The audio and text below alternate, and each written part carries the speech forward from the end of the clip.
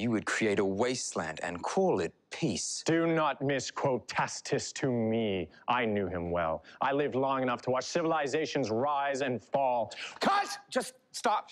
Cut, please. All right, cut. And everyone take five. I just need to think.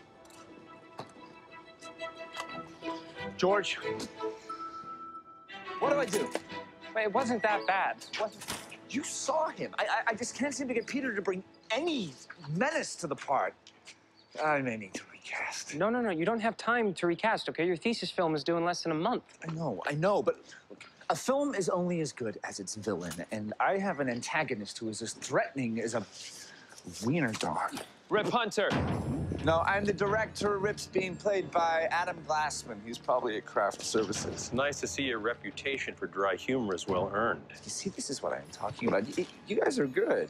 Yeah, these are these are great props. Did you make these yourself? Hey, we are on something of a clock here. Oh my god. It's Rip. Don't worry. We got you, Rip. Who the hell are you guys? We don't have time for this.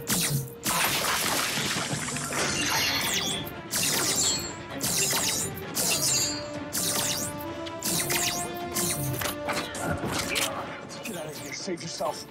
What about you? I can't leave my phone in there. Get out of here, man! No film is worth losing your life!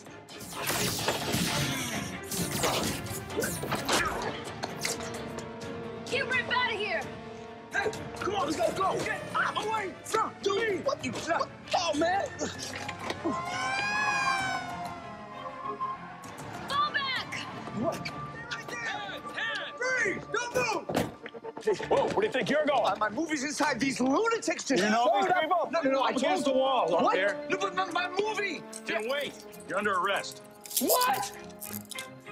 Oh my god! Oh my god!